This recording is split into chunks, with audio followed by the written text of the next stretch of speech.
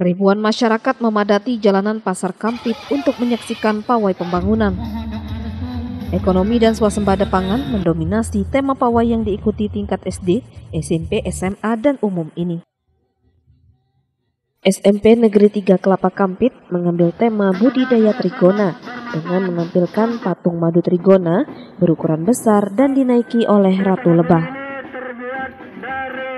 Guru SMP Negeri 3 Kelapa Kampit, Eki Piroza mengatakan, ide tema tersebut karena banyak masyarakat di sekitar sekolah yang menekuni budidaya madu trigona.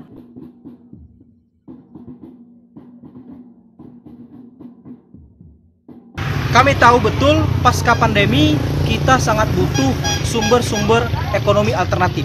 Nah, budidaya madu merupakan salah satu solusi bangkit pasca pandemi. Nah, oleh karena itu kami SMP Negeri 3 Kampit mengangkat fenomena masyarakat kemudian kami tuangkan dalam bentuk sketsa besar ini.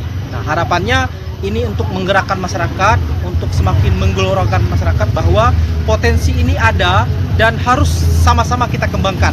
Budidaya madu ini sangat mudah dikerjakan dan tentu saja akan mendorong pertumbuhan ekonomi bagi masyarakat dan tentu juga bagi daerah kita Kabupaten Belitung Timur. Bupati Belitung Timur Burhanuddin mengapresiasi kegiatan ini. Burhanuddin mengatakan sejak pandemi COVID-19, kemeriahan Hari Kemerdekaan baru digelar kembali pada tahun ini.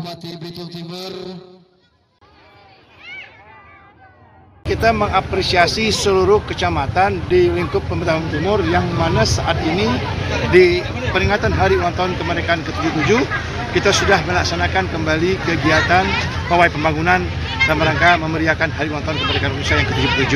Tentunya semangat untuk kita bangkit dari pandemi Covid, untuk kita kembali bergairah, memulihkan kembali ekonomi kita, dan tentunya pulih kita lebih cepat, bangkit lebih kuat untuk mengatasi uh, kondisi ekonomi kita pada hari ini ke depan.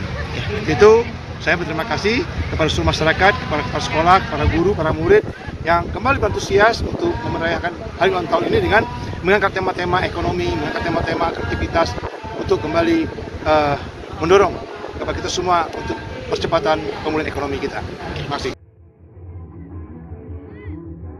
Tema Karnaval Ekonomi dan Swasembada Pangan mendorong pemulihan ekonomi pasca pandemi COVID-19. Ada Agus melaporkan dari Belitung Timur.